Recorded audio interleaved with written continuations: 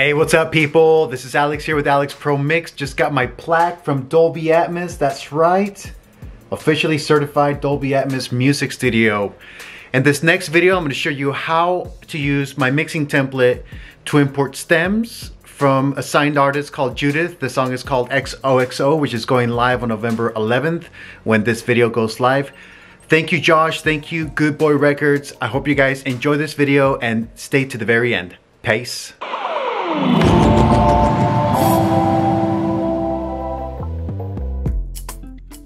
what's up? This is Alex from Alex Pro Mix. This is part two or the second video of a multi-series video that's going to show you how to mix music in Dolby Atmos. If you haven't already, be sure to watch the first video that's going to show you how I created a mix template from scratch, what plugin settings I used, how I did the routing. That's going to make much more sense when you dive into this mixing video. I'll leave a link on the video description to check that out. All right, so let's pick up where we left off from. So this is our mix template. This is our Pro Tools session mix template. And the next step is going to be to save this into the Pro Tools templates folder. Okay, so for that, I'm gonna go to File, choose Save as Template. Now I've created a folder called Demo, and I'm gonna put this Atmos Mix Template. I'm not gonna select a different destination. I'm gonna save it to the uh, System folder, and I'm not gonna include media. I'm gonna click OK, and I'm gonna go ahead and quit. All right, so now we're gonna create a new session. We're gonna go to File, New. We're gonna go to that folder, which is called Demo, Atmos Mix Template. Make sure the bit rate is set to 32-bit, sample rate 48 Hertz, and last used I.O. settings.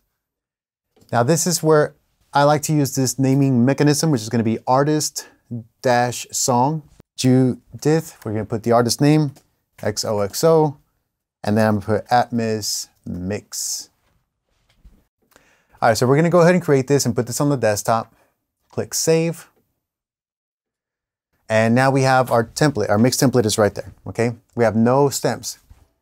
So this is the mix template that I use when I start creating Atmos mixes. When a client sends me the stems, this is what I use. So now I'm going to import those stems. I'm going to go to Audio Import. I'm going to find the files, which are basically all these.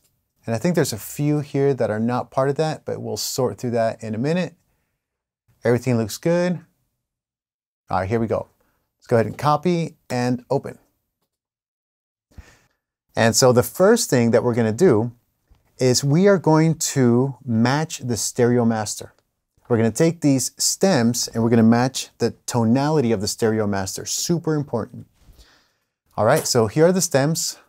I'm going to go to File, Clip, Name. It's going to show the final mix. That's the final mix. And let's go ahead and click X and put it down here on the final mix reference track, which is actually up here. And we'll move this down here. There we go. Now, because this file has been mastered, it's super loud. And remember, I'm monitoring on my Atmos rig, I'm monitoring at 82 SPL, which means I don't change the volume, I just set it and leave it, and I mix. And the room informs me whether I have too much bass, whether it's too bright, because the room is EQ'd and calibrated, um, mixing based on reaction, based on what I'm feeling. And then I check that on headphones. So the stereo master is way too loud. What I'm going to do is I'm going to turn this down by about 10 dB.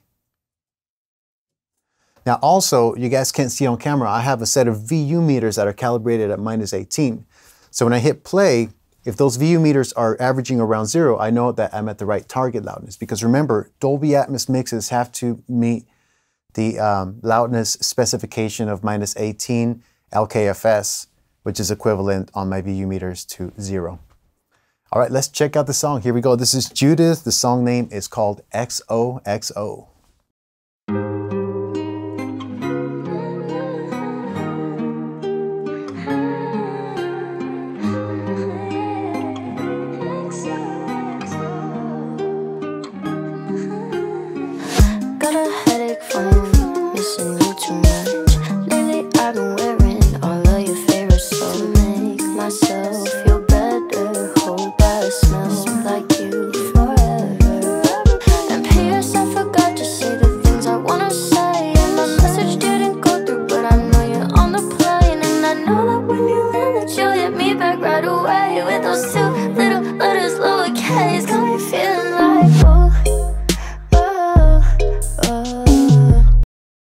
So that's just a sneak peek of the song. We're gonna mix this song. It's gonna be so much fun. All right, so the first thing I wanna do is I wanna figure out what the session tempo is because uh, when I'm mixing an Atmos, I want to be able to automate sections at a time. For example, if there's like a guitar loop or an ad lib and I want to move that from front speakers to the rear speakers, I want to make sure that it timelines with a with the session tempo. So what I'm gonna do is I'm gonna find the transient of the kick, which is going to be somewhere over here.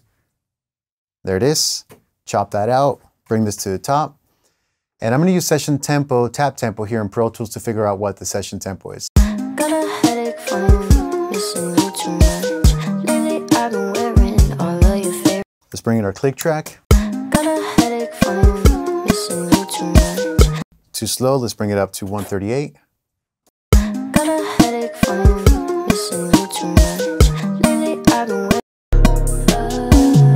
All right, so that's the right session tempo. And now let's go ahead and move this to, here's go on grid mode, bring it up, and scoot this out.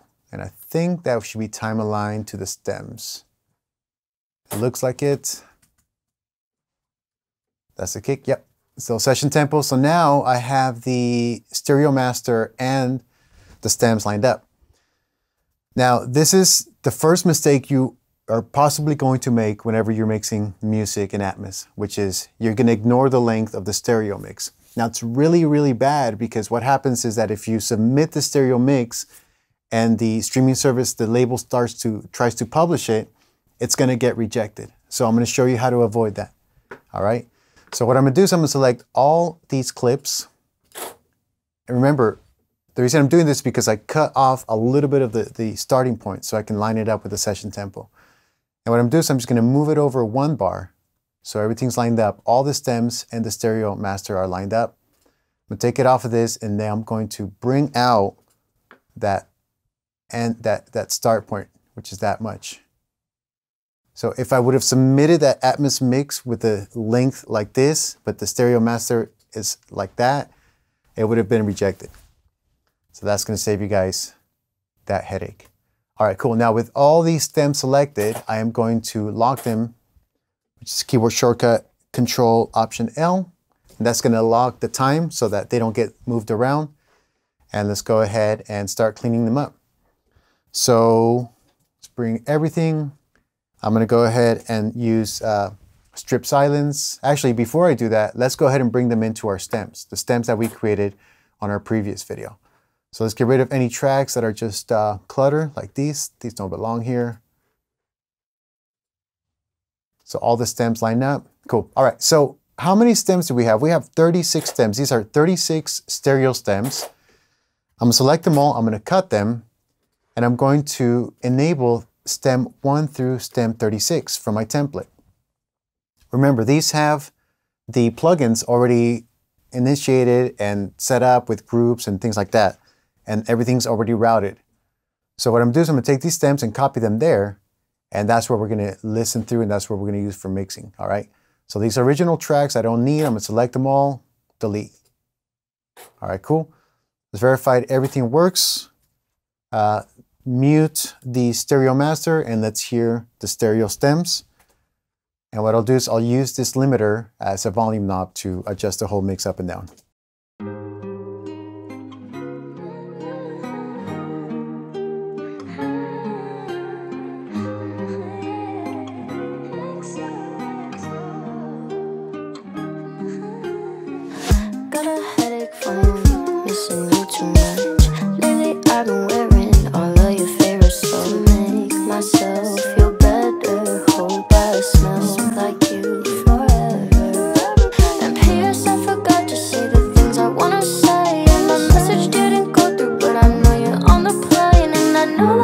Cool. So actually the stereo master and the stems sound almost identical. So I don't have to do a lot of processing, which is great because that this task right here can take a good 30, 45 minutes matching the stereo master to the stems. And I've been in situations where I've submitted Atmos mixes and the mix engineer writes like a paragraph of notes saying, hey man, you know, listen to the master because the tone is not right. And then it's my job as an engineer to match the tone. So that's why it's called engineering. All right, a couple of other things I want to do here is I want to enable heat. This is uh, specific to Pro Tools, but I'm gonna bypass it on the Stereo Master because I don't want heat affecting Stereo Master. For you guys who don't know, heat is, an, is a way of adjusting or, or enabling analog warmth and tone to all the audio tracks um, and they run in parallel. So it's kind of a way of using uh, of using saturation for glue purposes or to make the mix more, co more cohesive. All right, cool. All right, cool. So we got that, we got this. Next up, let's go ahead and clean up our stems. So I'm gonna use strip silence and just basically get rid of anything that's silence. And I'm gonna increase the clip length all the way because what happens is sometimes this will chop off reverbs and you don't want that happening on the stems. Remember, these stems have been pre-processed with effects, reverbs, and delays, and you don't want to chop that off accidentally. All right, there we go. That's going to just be a cleaner look. This is going to tell me when something comes in, and it just allows me to solo those clips whenever I want to isolate or hear something. Cool. All right, there we go. And we'll leave this one alone. Perfect. All right, so let's get to mixing. All right, so I'm gonna check out the song, but really what I'm gonna do is I'm going to kind of just start investigating to see what these tracks are. For this, I'm gonna use solo mode um, XOR, which cancels the previous solo. And let's just dig in. Let's see what's in here. At this point, I'm going to kind of ignore you guys for a minute. I'm just gonna go into my own zone of mixing, do what I do best. And also so you guys can actually hear this on headphones, I'm just gonna I'm just going to take all these uh, objects and put them on mid so you guys can actually hear any changes that I'm making. The only ones I won't put on mid is going to be the front and also 21, which I believe is a center channel. And then later we'll tweak this. But for now, I'm just going to do what I do and uh, you guys just watch and then I'll come back and show you exactly what I did. Here we go from the top.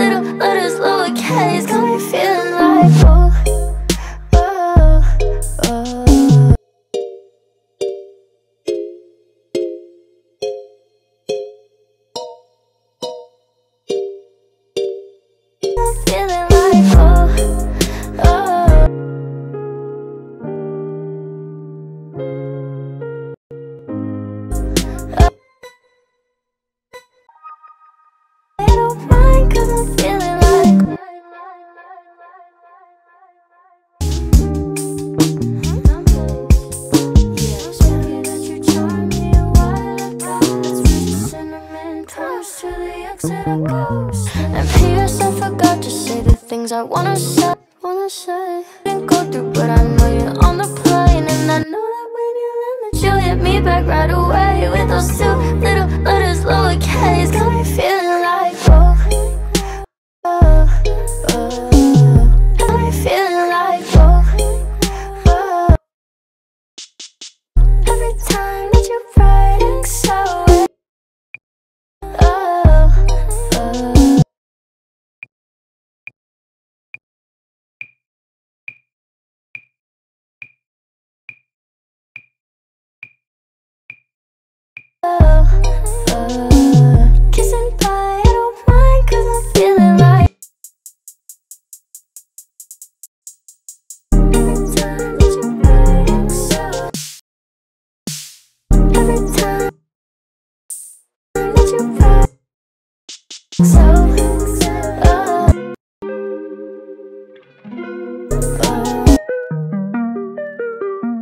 All right, cool. So let's, uh, I just spread the mix a little bit, not a whole lot, uh, into the render, into the room.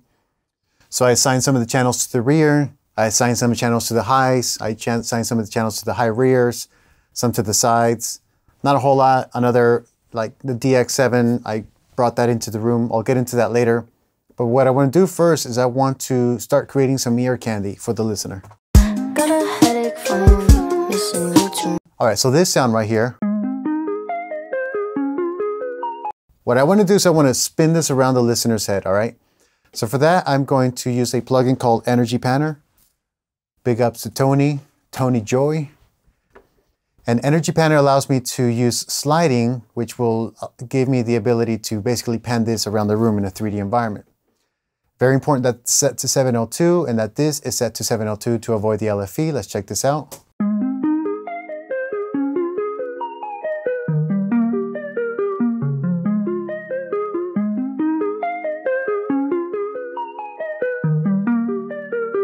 Cool, so that's spinning around my head. Now for you guys on YouTube listening to this on headphones, this is where the binaural settings come in. If I set this too far, it's gonna sound like it's further away. It's gonna enhance, it's gonna use more room simulation.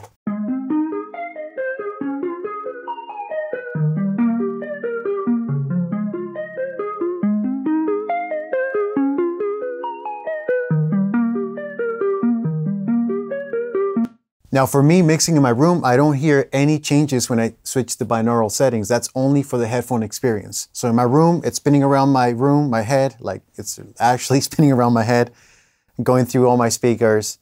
But for you guys, using the binaural settings gives you that simulation as if you're in the room. All right, cool. So we got that there. Let's check out these guitars.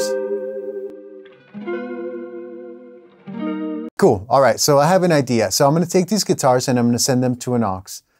I'm going to use this aux and I'm going to call it aux. I'm going to call it rear delay. What I'm going to do is I'm going to keep these guitars in front of me and I'm going to feed them to a delay that's going to be delayed and like swell behind me. So I'm going to create this cascading sound. As a listener, I'm here, I'm hearing the guitars, but they're going to swell behind me. So let's go ahead and uh, crank this up all the way. We can use any plugins that we want. Let's go for H delay because it's got a um, a time setting. And this is why I match the session tempo to the song at the beginning of the session. Super important so that all my plugins are properly synced and time aligned, all right? This is going to be panned to the rear. There it is. And let's see how much we adjust.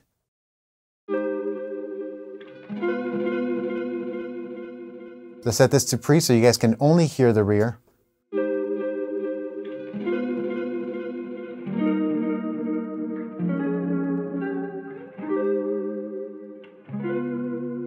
Okay, so right now I've isolated the rear delay. So I'm only hearing this delay coming from behind me, okay?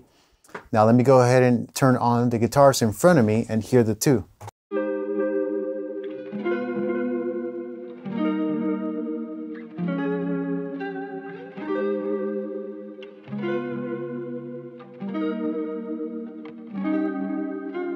Now typically what I do in the uh, object bed, because I have the, I'm using objects here, so I'm using rear channels, which is objects 15 and 16. I'm gonna go here to the renderer and go to 15 and 16 and change this from mid to far so that on the headphones, this feels further away.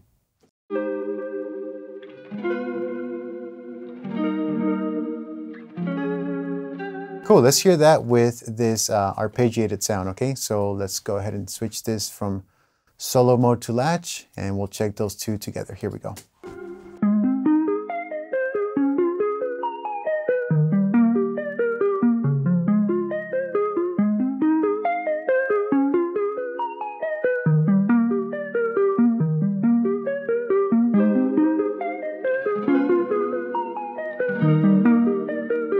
Very nice. It's like you get this arpeggiated sound swirling around your head, and then the guitars come in, but you hear its echo behind you. So it's things like that that you can't do in stereo, guys. This is just amazing, amazing technology. Here we go.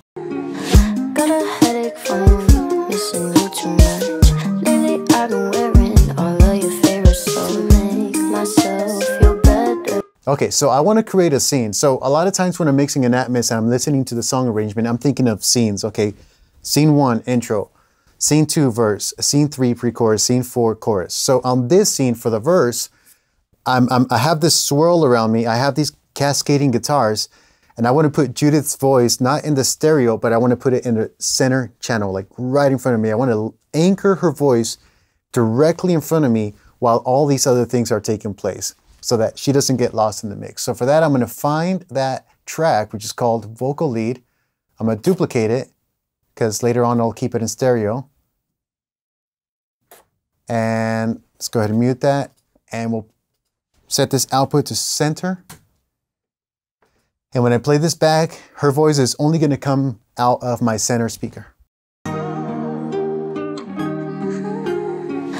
Got a headache from missing you too much. I've been wearing all of your favorites to make myself feel better.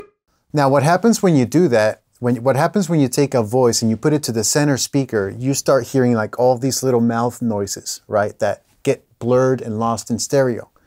So I have to compensate for that and I have to sort of clean that up. My two favorite plugins for dealing with that are SA2 by Mic DSP and Air by Sound Particles. A combination of these two allows me to sort of DS or control the, uh, the detail of her voice without losing the clarity.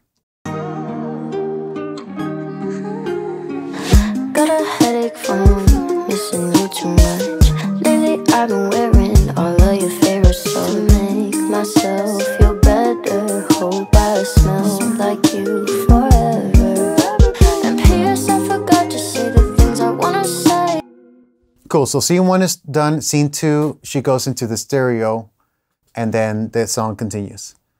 So let me do some of the things here on the intro with the uh, ad-libs.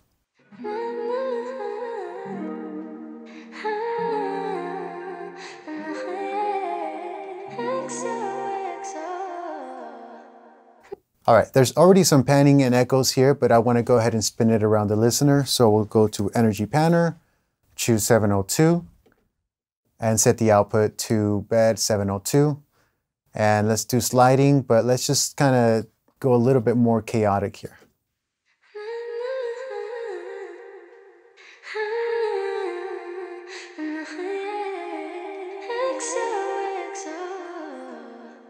I love that sound. Now this is where you start getting into the plugin parameters where ratio increases the speed, threshold is when this kicks in, and then attack and release is like how fast it actually starts. So I'm gonna slow down the attack and release so it doesn't start in right away. What I've learned with Atmos and spatial audio and immersive audio is that if you do too fast of movements, the brain doesn't catch it. But if you're subtle and go slow, then it becomes more noticeable.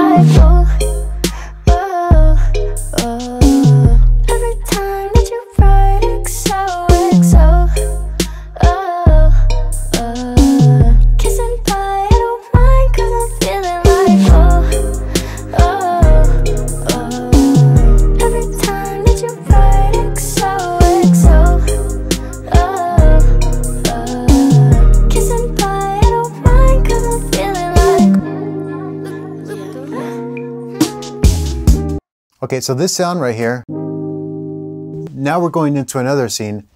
And instead of just keeping this in stereo or even moving it to the sides, I want there to be a dynamic movement of the sound around me. So for that, again, I'm gonna use the Energy Panner and I'm gonna use 702. I'm going to change the output to 702 and I'm gonna switch this movement like this.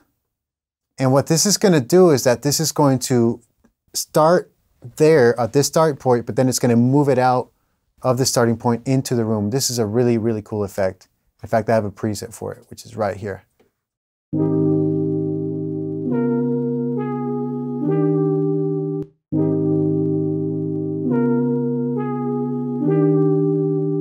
So now instead of just coming at me from a distance, it's like swirling around me, you know, slowly.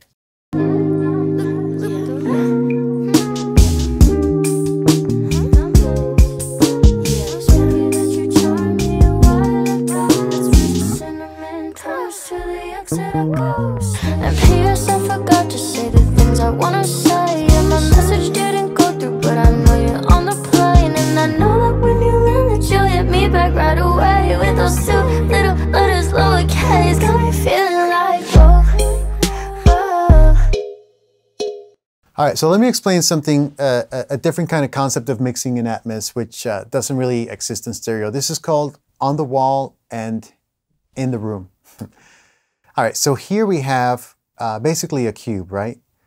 And if everything that I have panned right down my object bed is panned on the wall, because there's a physical speaker on, on this wall that represents like my room. So when, whenever you pan something and you put it on the perimeter of this room, that's called, you know, you panning it on the wall or the perimeter. But there's another thing called like panning it or bringing it into the room, and that's what I'm gonna show you next. So this, this keyboard sound right here, that's a really basic sound as far as like what it does. This is what it sounds like in stereo.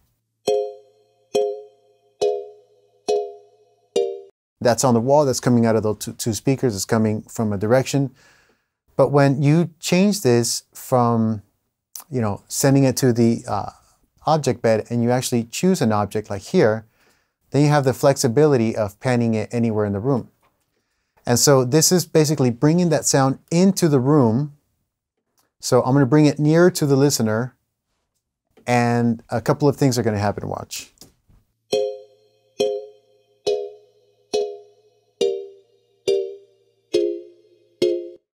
No longer is it coming to me from a distance, but it's actually closer to me. And because this dot is here, or this object is here, it's now being reproduced by these speakers, by this left speaker and by the side speaker. Both of these speakers are projecting that sound to appear somewhere over here. Now if I increase the height, so let me go ahead and show you guys what that would look like.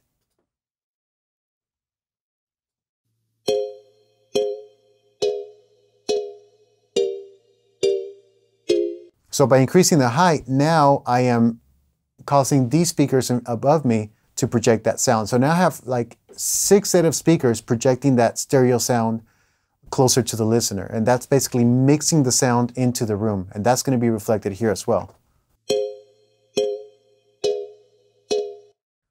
So what's happening because this is now an object is being uh, reproduced by all these speakers to project it in that particular location. And that's called object mixing. So you're mixing a sound into the room and now it's kind of being projected in that particular place. All right, so I did that with the keyboard. Let's see what other goodies we have around here.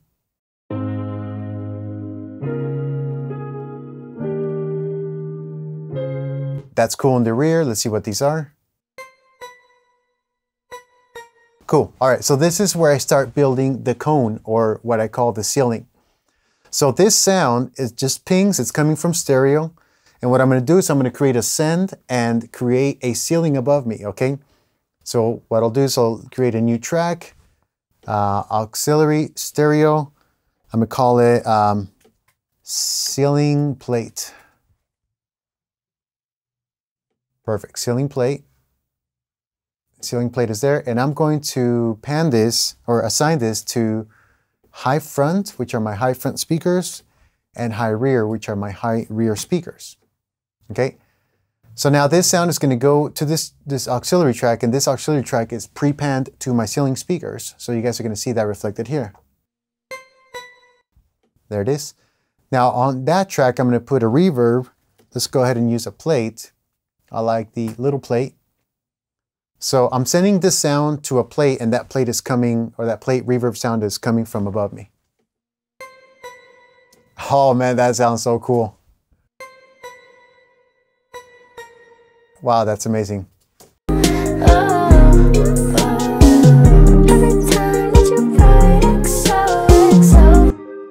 see what else there is.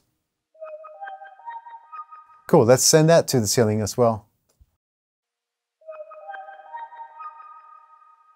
That is just so, so, so cool. Uh, we got some other delays. Most of this is drums and vocals and then with a, a few instruments. Okay, so that's set to the sides and I think this is set to the rear. So together sound like this.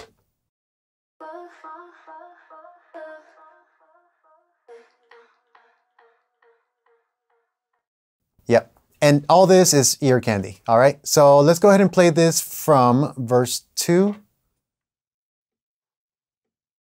Let's check it out. I forgot to say the things I wanna say And my message didn't go through But I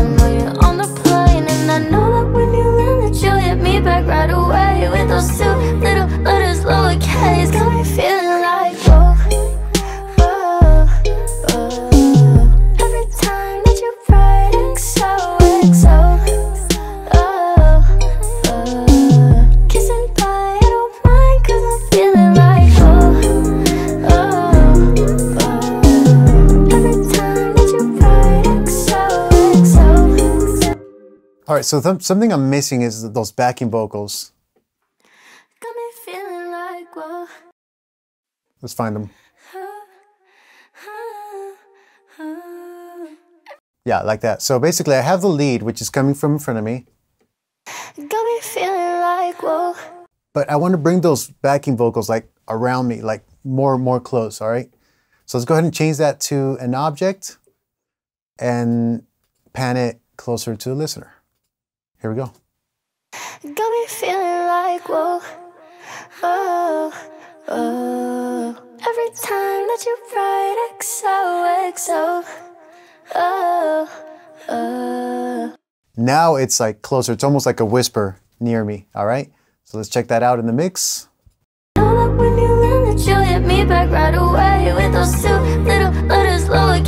Know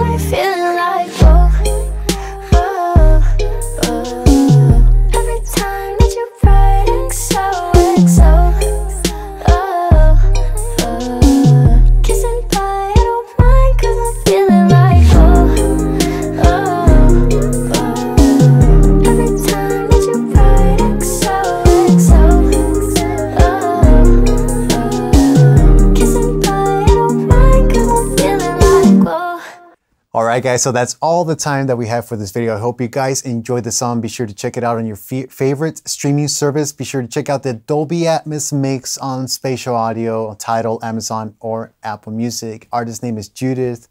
Song name is XOXO. Thanks, Tim of Vinculum Records. And also, the next video that I'm going to publish is going to be on what to do with the song after it's been mixed and mastered. What do you do? How do you deliver it? How do you send files to the label to preview and audition it? And how to publish the mix.